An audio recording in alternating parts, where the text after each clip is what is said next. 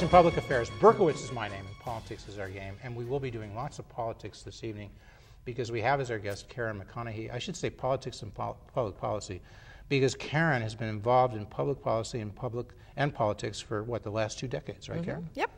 She was elected first to the Kane County Board in 1992, Right. and then in 2004 she became Kane County Board Chairman. She has been serving in that position till the current date and, and beyond, we should say. We're taping this show on January 22nd, 2012. She would now like to be a state senator. She is running in the Republican primary. That's Karen McConnaughay is running in the Republican primary in the 33rd district. We were just talking before the show. Where is that? It's way out west, right? The district runs from uh, Batavia at the south end all the way up to Crystal Lake, and, and roughly kind of more or less follows the western edge of the Fox River. And, you know, so folks, if you don't live out there, don't change that channel or I'll come get you. Because we're going to be talking of issues of interest to people throughout the state of Illinois because that's what we do. People want to know about education, they want to know about taxes. When they stop you in the street, Karen, and they say, You're here, you're running for the state senate, they want to know what your views are on education. They want to know if you'd like to repeal the income tax.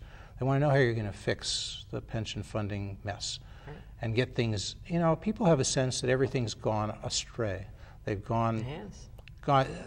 Putting it bluntly, Illinois has gone to hell in a handbasket. Would you agree? I would. Okay. I would. And so, if you go down to Springfield, you bring all your experience, and somebody says you've got a $90 billion unfunded pension liability for state employees. It's a real mess. The state needs to do something. Give us the one minute answer. What would you do to fix that problem of the unfunded pension liability? I think I think we have to make a change. Uh, that was a good first step for future employees, but for the existing employees, we just frankly can't continue the rich benefit package that they have. Uh, uh, Tom Cross has a, has introduced a three-tier approach that I think makes a lot of sense, and I think that the state legislature needs to address that. That needs to be the top priority. And you support that unequivocally? I, absolutely. Now, some people would say, "Aren't you violating the Constitution there?" Because these are current employees and true, these benefits haven't accrued yet, but the Constitution says something to the effect you can't diminish the compensation of current employees, something to that effect. Right. Um, there's a difference of opinion on that, whether or not that's accurate or not, and, and, I'm willing to test it. I think that it, what's really important here is to recognize that when a, a pension benefit is richer for uh, government employees than it is for anyone in the private sector, something has to change. And we cannot continue. We can't leave this for our children and our grandchildren, the, the debt that has been incurred here. Does that mean turning, taking some of these folks and saying basically you're going to be on a 401k if you don't want to pay more, and you're not going to have that rich retirement? Uh, fixed benefit that you would get otherwise? Uh, you know, sadly, I think that's what we do have to say because how many people do you know in the private sector uh, who, who, have, have been right. rich benefit right. Who have, they have 401ks. Kind of, they have, if they're lucky, they have 401ks. Exactly. They have 201ks, right. as you said. But, their, but their retirement is not as rich as it used to be. I don't know many people in the private sector. The people who we, as, as uh, taxpayers, pay the bill should not be providing a benefit package to state workers that's richer than the kind of retirement benefit that we receive. So that fixes some of the problem. What would you say the budget is roughly? Give me a ballpark number on, for, on, for the state of Illinois right now as we speak? God, that's a good question. I know that the the general revenue the, fund. Would you say it's like 30 billion, 33 billion, something like that? It, it, probably is. It probably is. You're not sure, but somewhere I am not. I am not sure. You're going to find out. I'm going to find come out. back and tell I can us. tell you all about. When you come back for this debate, we're going to have with your opponent, and you're going right. to do that, right? Right. Absolutely. We're going to talk about the specifics, what the budget is, what it should be, and so forth. But, but, but so roughly right now, you talked about you have to deal with the pension. Well, the pension. What else? What else do you have to do? Because right now, we barely have a balanced budget after raising tax revenue about $6 billion. That's the impact, I think, of raising the state income tax from 3% to 5% on the individual level, and I think from 4.8% to 7.2 on the corporate level. Sound about right? Right. Sounds, sounds close. So that gave $6 billion, and the state, I think, had maybe a slight surplus, slight deficit, but they were right in there, pretty close. And now the Republicans, the GOP, that Illinois Republicans in the House and the Senate, I think, have come together through Tom Cross and through Christine Radogno, correct me if I'm wrong, so and said they would like to repeal that income tax increase. Exactly. And Pat Quinn and other Democrats say, how could you do that? We'll be back with a $6 billion deficit. What do you say? You want to be a leader? Say something happens to Chris, she's not available, and Chris says, run out and explain this to if you will, Karen, to the governor as to how we can mm-hmm. repeal the income tax and still have a balanced, solvent situation. I think you grow revenue by cutting back on the constraints we've put on local business, so business can grow, so our economy can grow. That's that's where you find the revenue. The growth. The growth in our economy is is More the answer. taxpayers. More taxpayers. Not more taxes. Exactly. You're in exact exactly. agreement with your opponent, Cliff Surges, Right. because that's the, that's the saying he used. You saw that show when he was here, right? Yep. So you folks are in sync Yep. On taxes. You both want to repeal the income tax. Absolutely. Okay. And you both pretty much, we didn't, I don't know if we went through that with Cliff, but he'd be for that pension reform. I think we did. I would That you so. talked about. I would think so. so. you're in agreement there. I don't know many Republicans who aren't in agreement on He says that. Medicaid's a big issue. You've got to get so. to control that. You agree? I agree. But how do you do that? You got a lot of low-income people out there. Healthcare costs have blossomed and have gone up rapidly. Do we just say to these low-income people, you just don't deserve health care? I think I think that we've got we can accomplish a lot by uh, verification. Uh, whether or not there's a whole lot of folks that they sign up for Medicaid once and then we never verify if they still are eligible. So we got a lot of people who shouldn't be on the dole who are on the dole. Well, we don't know that for sure. How do we even know? But chances are pretty good that it's being abused by all indicators. So Newt Gingrich says, go out to somebody like American Express, one of these other credit card companies. They they know how to get at fraud.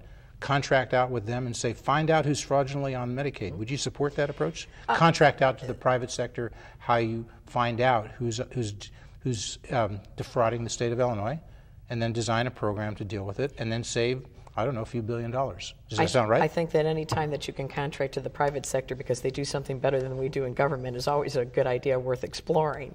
Um, but I, but I think that they, we've the legislature has passed some uh, changes to Medicare qualification that the federal government has not uh, validated yet. And I think that's one of the things that we need to press harder at the mm. federal level to, to get that concurrence from them so that we can begin to do a better job of verifying. We have to get waivers or concurrence from the federal government to do some things with Medicaid, their approval Right. to reform Medicaid, to lower the cost, to make it more efficient. Right. But is there I one thing, also- if, if you said, I'll say I'm John Citizen, Jane Citizen, I run into the street and I say, I don't know, it sounds very complicated, but I got this guy, Cliff Surges. I've got Karen McConnaughay. I know you're both running for the state senate and the Republican primary. That person says, I'm a Republican. On this one issue of Medicaid, you both said that we should somehow reduce Medicaid costs. Can you tell me how you're going to do it better than Cliff? You know, I, I'd like to try and look at some of the things that we've done in, in local government. Uh, wellness programs uh, are, are one of the ways is to really, really create some incentives within the Medicaid system and that really push the medical community towards getting people into taking a more active role in preventative medicine and better dine- disease Better diet, better Right. exercise, Right. maybe That's even really get the these key. people involved in Right. things that make them and maintain their health. That's what I, that's what I did with our, our health insurance program at the county. I have nine different bargaining units, and, and what was one of the key things we negotiate. Let's get our employees into a wellness program. By doing that, we have already begun to reduce the overall cost of health insurance uh, that the taxpayers are, are picking up. We estimate by making that change and getting that buy-in from the employees that we are going to recognize next year close to $2 million in savings in health care costs for just for our employees. Those kinds of concepts about, about wellness and getting people to invest in, in their own health uh, make a clear difference in the cost. So uh, basically, we want to allow people to, in a sense, mimic their higher income friends because high income people tend to be involved in wellness programs. We know a lot of executives have programs designed to keep and to make their executives healthy, the companies do. And on the private sector, because they realize that's a valuable asset, so we want our incentive. We want our executive to exercise. We want to make it easy for that person to do so. We want to transfer that kind of relationship down to the lower level employees and people indeed who may not have a job but are looking for a job. Let's let that let's make it easy for them to exercise, easy for them to have a good diet, and therefore, the, in the long run, the costs will be less to take care of those people. Well, and I think is that also, the idea? I think that's part of it, but I also think uh, um, uh, creating an incentive for the medical community to really focus in on with Medicaid patients. Um, the the system kind of really dr- drives the type of health care they're receiving, and I think So their compensation, in a sense, would be tied not to just the things they perform, the procedures, Right. But if they could figure out ways to motivate their patients to come in for regular visits, to catch things early on when the cost of dealing with it is less, and to and to motivate their their clients, if you will, to exercise and do all those things, we will pay that doctor for that motivation for those skills, as opposed to paying them for expensive procedures, Right. right? Right, and the idea We'll- is we'll time- incentivize them right, to do this. Right, and over time, you'll have less people who are ill, Right. who need very, who are requiring very, very expensive medical procedures and, and costs. But the state, so the state's very involved in healthcare through Medicaid, and that's shared with the federal government. And there's this thing called abortion. You know, it Mm-hmm. comes up from time to time, especially in Republican primaries. What's your view? Are you pro-life I or pro-choice? I am pro-life. You're pro-life. So what does that mean? Would you like to see abortion completely illegal? I would. Would the how, allow an exception for the life of the mother? That's the only exception I would allow. Not for rape or incest. Okay. And what if a woman walks in now and wants to have an abortion? Should Medicaid take care of it if that woman doesn't have the income to go and pay for an abortion? Why, why should we as taxpayers be funding that? It's not Well, because it's a legal procedure. Uh, Roe v. Wade Well, I and don't- the Supreme Court has said, be. but the Roe v. Roe v. Wade has said that it's a constitutional right. It's the law of the land now. It could change in the future. Shouldn't the state of Illinois be covered by the law of the land? No, I don't think government should be paying for. Uh, why should government be paying for a woman's abortion? Well, because many women view this as uh, part of, of health care, of reproductive health care. And so, just like we would pay for a procedure that that woman might need that wasn't related to reproductive care, why shouldn't we pay for it if it is reproductive health care? It's a legal procedure, it's a legal operation. If a wealthy woman wants to have an abortion, we're not preventing her from doing that, right? Right. Right. Why should we say to a low income woman, well, if a low income woman needs to get her arm fixed because she has a broken arm, we don't quibble with that. We say, you got a broken arm, we'll pay for it. That's now a- woman says, now I have an abortion, I have a pregnancy. That's a choice I don't want to have a pregnancy. I mean, I want to abort. It's legal to do so. And you're saying, no way. It's not a life or death question for that for that woman. Okay. That is a moral choice that she made. Um, I do not agree, as a taxpayer, that we should be paying for that. As far as you know, your opponent, Cliff Surges, agrees with you. I, I, you know, as I said, as I told you earlier, I think when it comes to these kinds of issues, we're probably very much on the same page. Same thing about gun owner rights, Mm-hmm. gun control. Do you think we should have a ban on assault weapons? We No. don't. We used to have one, didn't we? Was it on the federal level? We, I do not believe we should. I'm a We big shouldn't. Second Amendment. Why does somebody need an assault weapon? Why is it our, Henry Hyde, I once asked, not Henry Hyde, but I once asked Phil Crane. You know, Phil Crane used to be a congressman, and his answer was many years ago, well, Jeff, whatever melts your butter. Would you agree with Phil on that? Well, I would- I'm not sure I agree with You how might to answer that question, but but if I'm a law-abiding ci- citizen and I I am a safe individual with guns, is it really the government's business? What kind of a what, No, what but what do you, I mean, assault weapons, as you know, are often used for criminal behavior. Right. And they're not used, for, uh, often not used for sport. Right, but you know, if you have, if you don't have a ban on assault weapons, the bad guys can get and will get assault weapons, and they're going to mow down people in the streets, and people in Chicago who a four-year-old might be sleeping in her bedroom, and she may be randomly shot by somebody who just rips off, you know, 20 shots within 20 seconds. Now- And assault weapons, I know we get into the definitional issue, Right. but do we really want to say that because people should have a gun for sport and a gun to protect themselves, as the Second Amendment says, they should also definitely be able to reel off 30 shots in 30 seconds? Assuming that the assault weapon would get at that and prevent that. Maybe they could get a gun, but not something that shoots them quite so quickly. Would you think that might be a good idea? Well, Jeff, I can't believe that even you think that banning assault weapons is going to keep assault weapons out of the hands of criminals. Well, it would diminish it. It raises the cost. I- I mean, you, you, said you read this book, right? I, it's been One of our favorite books that we promote from time to time. We don't promote, well, we do. yeah, you do. Milton Friedman, Capitalism and Freedom, right there. Require, it should be required reading, right? Yeah, for watching public affairs and for just for in general. We should balance things out, right? I mean, we should have this required reading, but maybe required reading something by Jen, John Kenneth Galbraith. You know, Friedman and Galbraith used to debate. We're for you're for that exchange of ideas, right? Absolutely. All right, but anyway, so Can't get anything done in government without an exchange. But Friedman would point out when you raise the cost of something, you get less of it. When you lower the cost of something, you get more. So I've never talked, I didn't talk with Milton when he was alive about that particular thing, but I think he would say, well, if you raise the cost to owning an assault weapon, you will get fewer people owning them. Do you dispute that? You know, I. You I won't eliminate it completely, but you know, you'll get fewer people and you'll have fewer bad guys having assault weapons, and you may get fewer people getting shot in Chicago. Well, you're, you're operating on a premise that there will be less assault re- weapons in the hands of criminals by, and I don't By raising the cost, because Right. the criminals react. know that I They're they're they're they're rational, don't you think? No, not You don't really. think they are? You don't Okay. think you think criminals are rational? All right, so you you would not like to see a ban on assault weapons, you, No.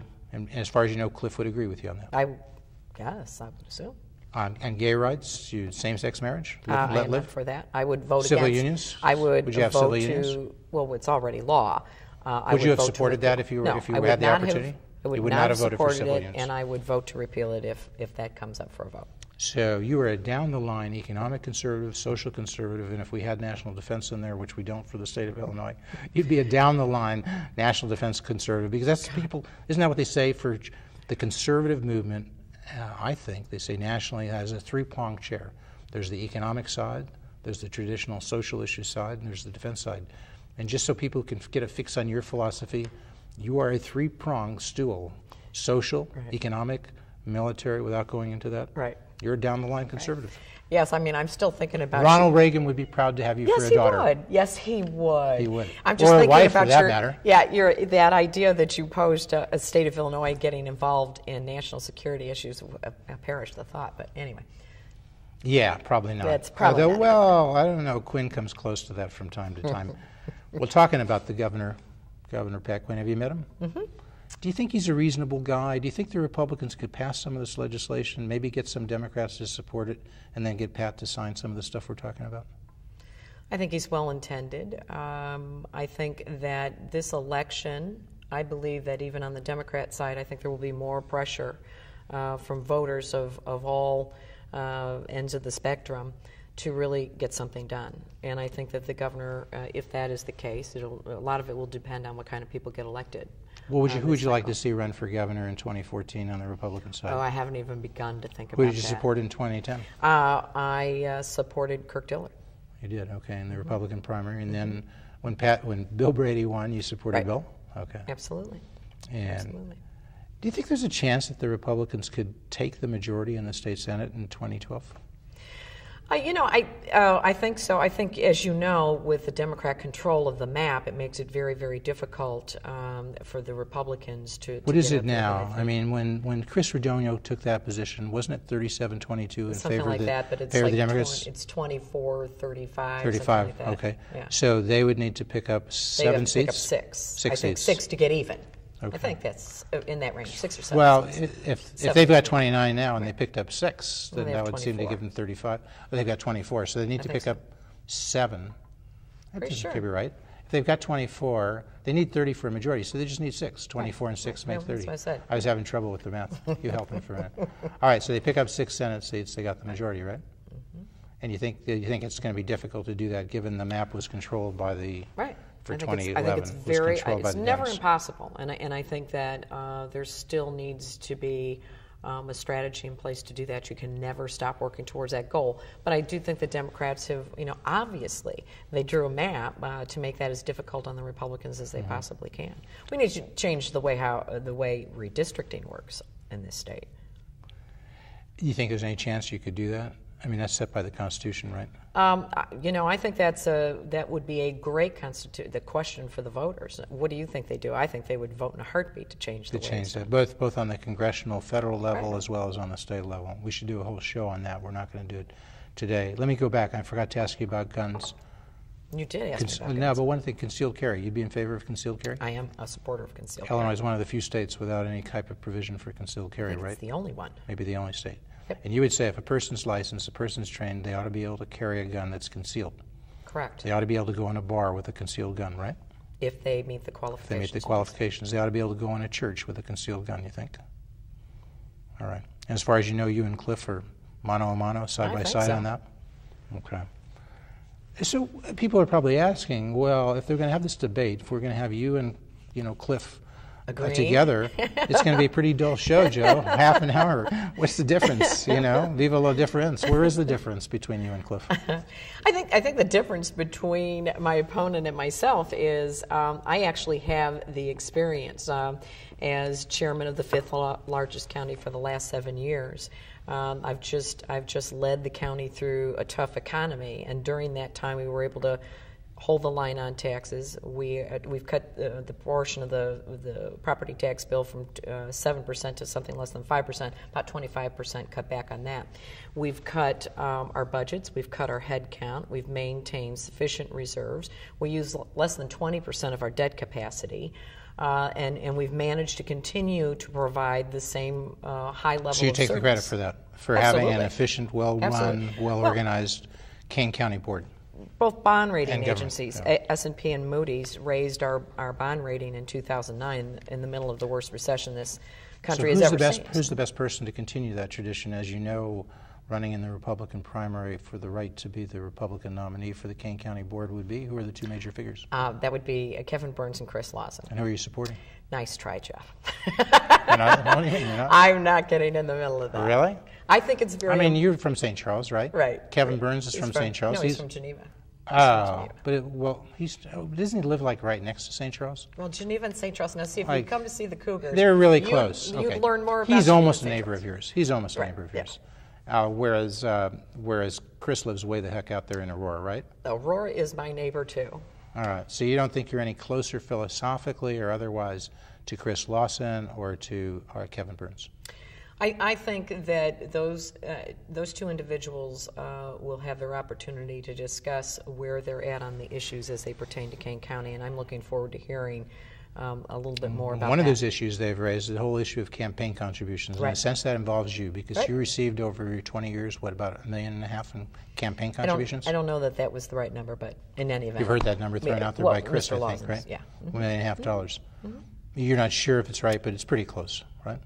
Well, yeah, Reasonably close. yeah, could be. Mm-hmm. And he says, look, there are a lot of things there where people can influence you, contractors, construction, and you were chair of the transportation committee. Right. Transportation committee makes decisions that affect people like Patrick Engineering and so forth, Right. and they've given you large sums of money, 10,000, 11,000, things like that. Mm-hmm. And they're not the only ones. Mm-hmm. What do you say to Lauzen mm-hmm. about that?